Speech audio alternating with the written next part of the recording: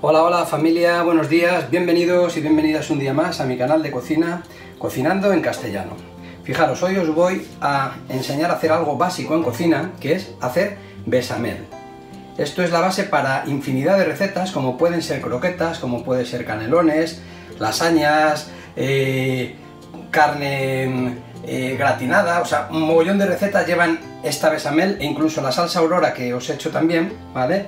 Es una bechamel con tomate. Bien, eh, los ingredientes son muy sencillos y sí que hay que respetar las medidas. Aquí os voy a dar las medidas de cómo hacer bechamel para croquetas, ¿vale? Porque para croquetas llevamos más harina y más mantequilla que si la hacemos la bechamel para canelones o para lasaña que tiene que estar más líquida. Entonces os haré un gráfico de resumen para que veáis las medidas y en mi página web, en mi blog, ¿vale? Tenéis que es eh, cocinandoencastellano.com, ahí vais a tener también toda la descripción de todos los ingredientes dependiendo si son eh, canelones, lasaña o si es croquetas. Entonces, sin más, empezamos con la receta de cómo hacer una exquisita y fácil besamel.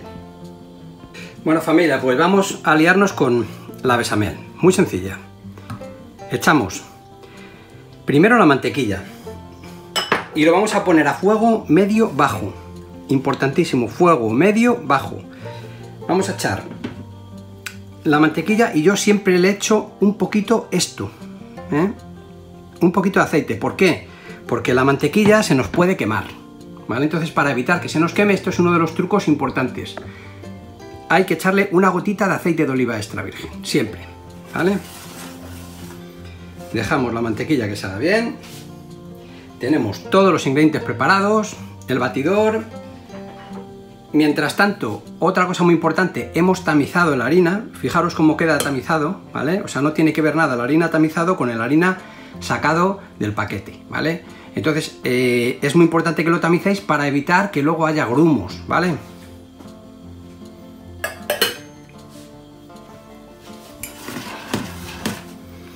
Removemos porque hay que tener cuidado que no se nos queme la mantequilla. Queremos que se deshaga pero que no se nos queme.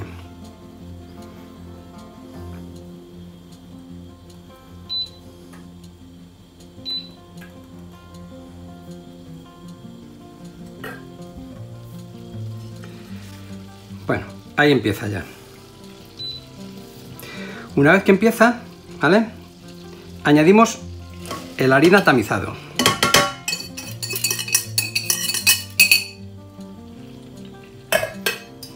Y empezamos a remover bien. Y esto hay que dejarlo aquí como mínimo un par de minutos. Esto se llama gus, ¿vale? Esto es una técnica de cocina francesa de toda la vida. Hay que dejar aquí que se haga bien la harina porque si no luego la besamel nos va a saber solo harina. Entonces esto se tiene que dorar, pero no se tiene que quemar.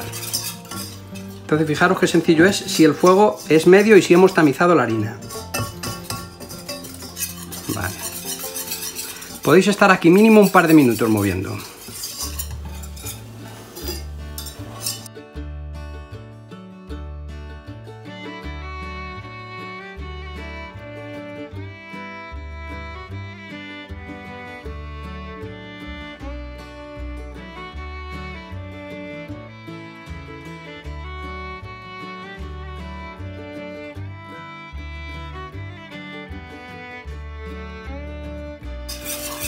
Va a quedar extraordinaria, ¿eh? O sea, va a quedar una besamel extraordinaria. Bien, y mientras tanto, la leche la tenemos muy caliente. La leche está hirviendo, ¿vale? Y la tenemos separada.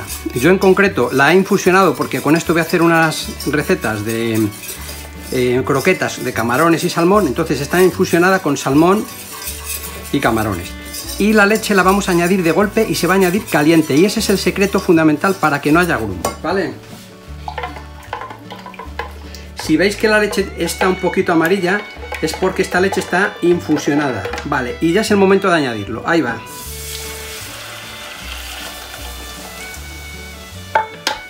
Añadimos la leche de golpe y no paramos de remover. Ahora no paramos de remover. Fijaros, parece que está líquida. Bueno, pues en 3-4 minutos esto se va a quedar muy sólido.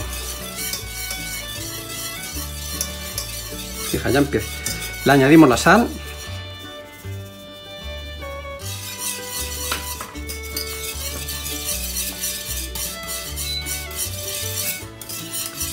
Fijaros qué rápido lo coge, ¿vale?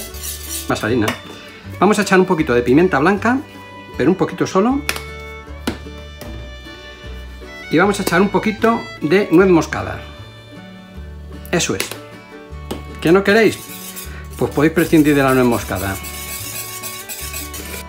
Fijaros qué lujo de besamel, ¿eh? De lujo. Y esto os va a servir para toda la vida. ¿Que queréis hacer canelones o lasaña? Pues las medidas son distintas, de la harina y de la mantequilla. Bien, pues si os gusta mi canal os agradezco muchísimo que os suscribáis a él, es gratis, que pulséis un me gusta en las recetas y que deis la campanita de YouTube, porque si dais la campanita de YouTube recibís todas las semanas eh, las nuevas recetas.